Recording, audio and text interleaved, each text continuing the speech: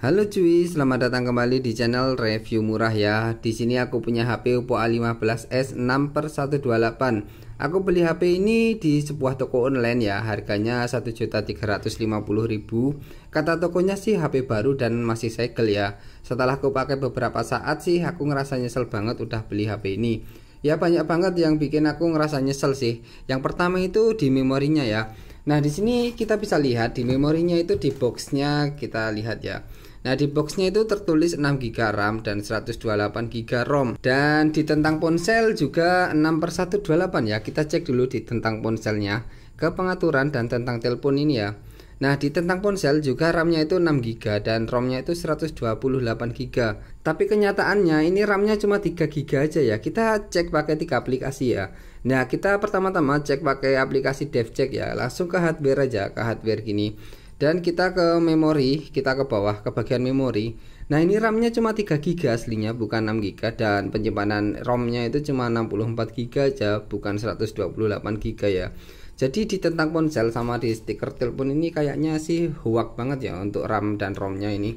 Nah setelah itu kalau satu aplikasi aja nggak cukup untuk membuktikan kita pakai aplikasi kedua yaitu AIDA 64 ya. Kita masuk ke AIDA 64 dan kita ke bagian sistem.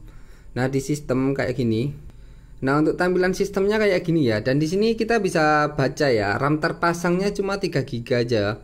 Ini jadi RAM terpasangnya juga cuma terbaca 3 GB di AIDA 64 dan untuk penyimpanan internalnya atau ROM-nya ini 47,81 GB ya mungkin 64 GB lah ya. Jadi jauh banget dari 128 dan 6 GB RAM. Jadi kalau aplikasi AIDA 64 dan DevCheck gak cukup kita pakai CPU Z ya. Nah kita masuk ke CPU Z Nah untuk tampilan CPU Z nya kayak gini Nah kayak gini ya Nih tampilan CPU Z nya kayak gini Kita geser ke bagian device ini ya jadi ada iklan sebentar. Oke, setelah iklannya aku skip ya di sini bisa kalian lihat juga total RAM-nya ini 2818 MB ya atau 3 GB. Dan untuk storage-nya itu 47,81 GB atau totalnya itu 64 GB ya. Jadi kayak gini untuk RAM dan ROM-nya itu ya mengecewakan banget sih di boxnya itu tulisannya 6 per 128 dan di tentang ponsel 6 per 128 tapi kenyataannya cuma 3 per 32 aja.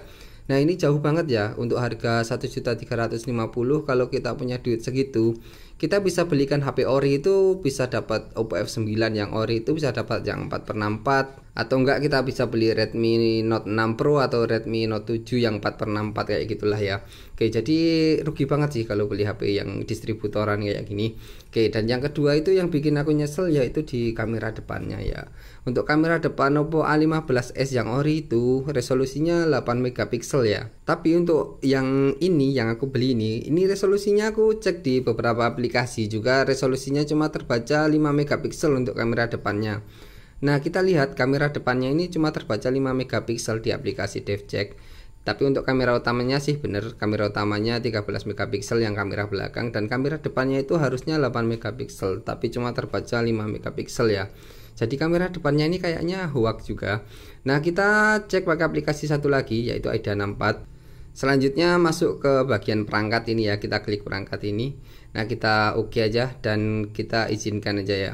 Oke jadi kamera depannya juga terbacanya cuma 5 megapiksel aja Dan kamera belakangnya sih bener juga terbaca 13 megapiksel. Untuk yang ketiga yang membuat aku nyesel udah beli HP itu Yaitu chipsetnya ini ambigu banget sih. Nah kita cek aja chipsetnya di AIDA 64 ya. Kita ke sistemnya. Nah di sistem ada iklan kita lewati aja iklannya. Oke jadi di sini kita bisa lihat perangkat kerasnya pakai MediaTek Helio P6765 ya. Jadi ini untuk di AIDA 64 ini sesuai sama orinya ya. Yang ori itu juga 6765 atau MediaTek Helio P35 ya. Tapi saat aku cek di DevCheck ya, di DevCheck. Nah, kita ke DevCheck dan kita ke bagian hardware. Ini MediaTek Helio P22 ya. Jadi bukan P35 tapi kebacanya cuma MediaTek Helio P22 atau MediaTek 6762 ya. Jadi ini skornya satu-satu ya. Di AIDA 64 itu P35 tapi di DevCheck P22 jadi kita pakai aplikasi satu lagi ya CPU Z ya. Oke kita ke CPU Z. Kita bisa cek juga di CPU Z terbacanya juga MediaTek Helio P22 bukan P35 ya jadi kalau dicek di dua aplikasi ini P22 dan di satu aplikasi i dan 4 ini P35 jadi ini chipsetnya ambigu banget antara ori atau enggak ya? Oke untuk selanjutnya atau yang keempat ya. Saat aku ngecek IMEI HP ini di website resmi Oppo Nah ini garansinya itu nggak ditemukan ya. Ya kalau kayak gini bisa dibilang kalau HP ini itu nggak asli ya. Nah coba kayak gini cara ngeceknya. Kita bintang pagar 06 pagar ya Oke kayak gini akan muncul email 1 email 2 ya. Dan selanjutnya kita masuk ke website resminya Oppo dan di sini aku ceknya di pemeriksaan status keaslian dan garansi ya. Jadi ini email satunya udah aku masukin ya. Nah, kita cocokkan dulu biar nggak salah paham ya. 357 591 067 807 443. Jadi udah sama ya. Selanjutnya aku akan periksa dan di sini aku akan periksa sekarang ya kayak gini Nah kita ulangi lagi sampai menutupi kayak gini ya. Nah kita ulangi lagi sampai benar menutupi bulat-bulat hitam ini. Oke jadi udah benar dan kita tinggal tunggu beberapa saat. Nah kayak gini ya ini IMEI satunya itu nggak ditemukan status garansinya ya. Kalau kayak gini bisa dibilang kalau HP ini HP nggak asli ya atau HP nggak resmi jadi ini IMEI-nya nggak tahu IMEI HP apa dimasukin di Oppo ini ya. Ya nggak tahu sih kayak gitu mungkin ini emailnya replacean atau emailnya injek kayak gitulah. Soalnya HP-nya ini diimpor juga dari luar negeri ya. Jadi ini didesain POPO dan assembled in China. Biasanya kalau HP-HP yang ori itu di Indonesia itu biasanya made in Indonesia ya bukan made in China. Jadi diproduksinya di Indonesia dan biasanya itu ada silnya dan ada garansinya yang jelas juga ya.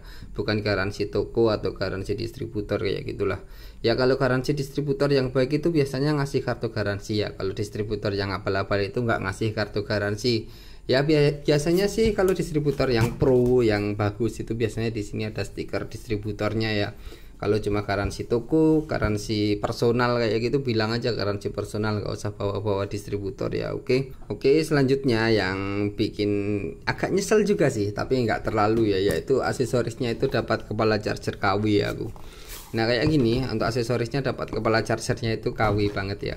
Beratnya waktu di video unboxing kemarin waktu aku timbang itu 35 gram ya.